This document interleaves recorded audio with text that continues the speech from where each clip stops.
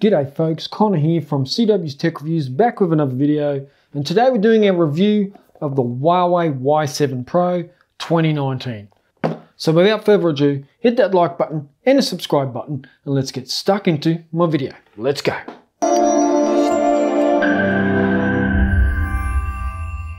Before we get started, if you are thinking about picking up the Huawei Y7 Pro 2019, hit the links down in the description below. I will have links to eBay and Amazon if you want to pick it up.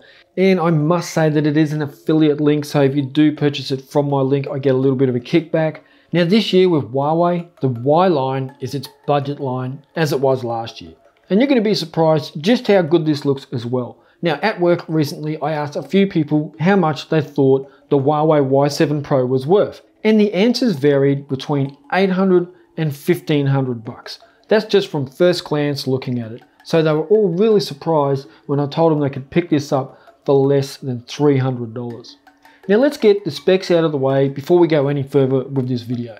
So you've got a Snapdragon 450. It's also running an Adreno 506 4000 milliamp hour battery, 3 gigs of RAM and 32 gigs of storage. Now the cameras are a little bit surprising. You've got a 13 megapixel shooter on the back and a 2 megapixel shooter for depth sensing. And on the front you have a 16 megapixel selfie camera. So that is pretty impressive. A 6.2 inch display, it's running at 296 ppi I think, so not a very high ppi, but a screen that looks pretty impressive nonetheless. And I think it's important to note that it also has a headphone jack.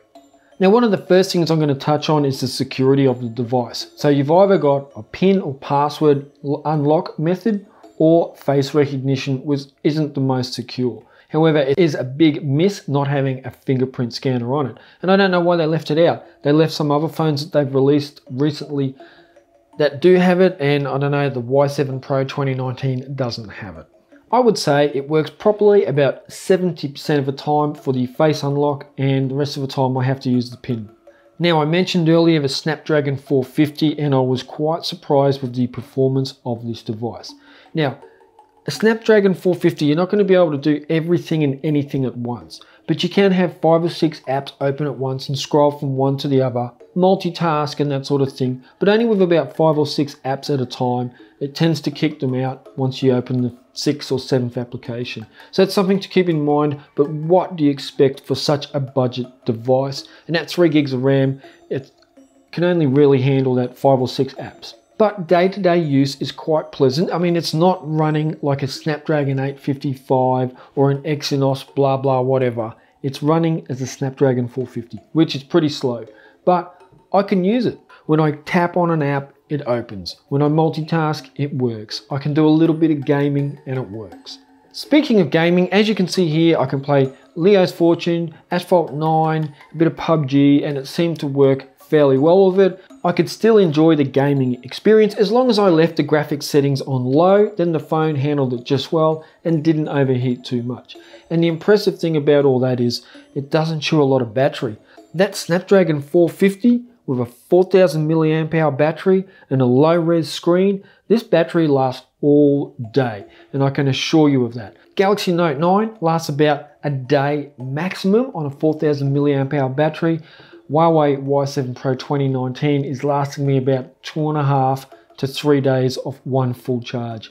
So that is something to consider. I mean, I just put it on charge on the way to work in the morning and it's topped up again. I don't have to worry about it for another two days. If I think oh, I'm getting a bit anxious about the battery, I'll just whack it on charge as I'm driving home from work. So the battery is killer and I wish more phones were spec'd in the way that this is. So you've got enough power to run your device, but also not draining your battery. I mean, that Note 9, I'm charging it again by 6 p.m. so I can get through to bedtime. So kudos to Huawei for the battery management on the Huawei Y7 Pro 2019. Now the build is nothing special. It's plastic on the back, glass on the front, really nothing special to write home about. I mean, it looks nice, but it is a fingerprint and smudge magnet. That was one thing I would say is not real cool about it. It can look pretty grubby after a day's use. It does come with a cheap case to keep it protected and it also comes with a screen protector pre-installed which I think is a nice little addition getting a case and a screen protector.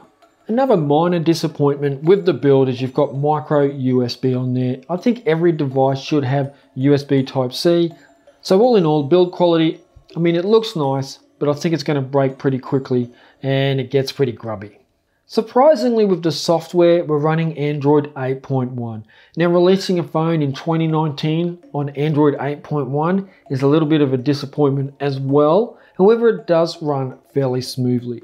And I wanted that Android feel to it, so I did go and install Action Launcher, and I'll leave a link down below to Action Launcher if you want to try it out. I highly recommend it. Now, Action Launcher did give it that typical sort of Android feel, but I think Huawei's software, which is EMUI 8.2 on this phone, isn't too bad and it's worth exploring. There, are, there is a few applications and services that Huawei bundles in with the software that aren't available in my country, which is Australia.